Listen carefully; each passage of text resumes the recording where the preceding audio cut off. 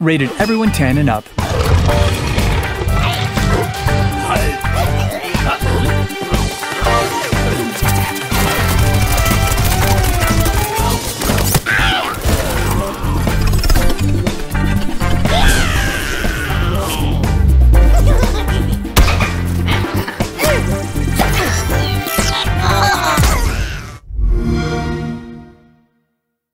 Play it first on Xbox.